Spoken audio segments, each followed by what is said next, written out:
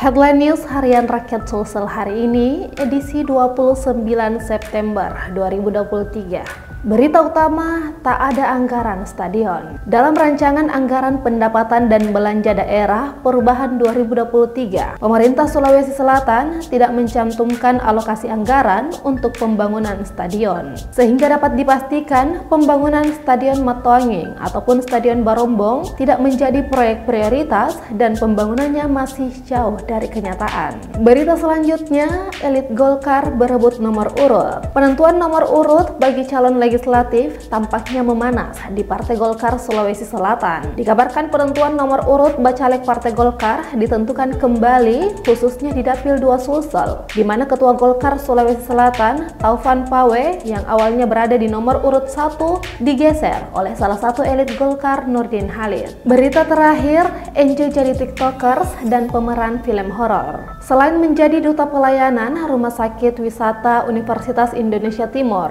Elis Adesta kini mencoba menjajaki dunia perfilman Makassar. Selain itu juga aktif sebagai konten kreator di media sosial TikTok yang menurutnya mempermudah pekerjaannya sebagai duta pelayanan dalam menyalurkan informasi kepada masyarakat luas mengenai program dan pelayanan Rumah Sakit UIT Makassar. Demikian headline news hari ini. Untuk selengkapnya dapat Anda baca pada media cetak Harian Rakyat Sulsel atau mengunjungi website harianrakyatsulsel.com. Terima kasih, sampai jumpa, dan selamat beraktivitas.